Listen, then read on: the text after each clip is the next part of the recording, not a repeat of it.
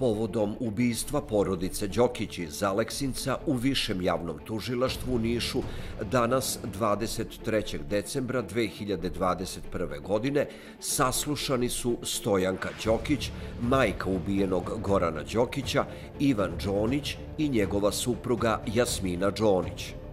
Muškarac kom je Goran Đonić posle zločina vratio dug od 10.000 evra.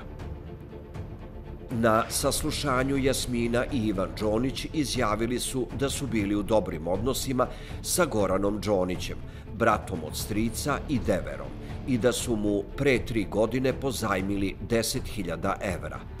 Rekli su da im je Goran Đonić rekao da će im novac vratiti za godinu, godinu i po dana i da oni nisu vršili pritisak na njega, ali da ga nije vraćao sve do polovine oktobra.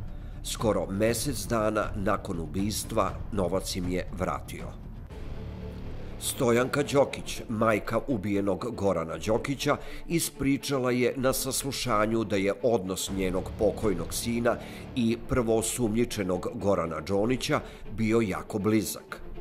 Đonić je pozemljivao novac od njenog sina, pomagao mu, održavao mu auto bili su u prisnom odnosu, a on je dolazio često u njenu kuću i boravio tu, tako da je bio upoznat sa kretanjima njenog sina i da čak novac koji mu je pozemljivao često nije ni vraćao.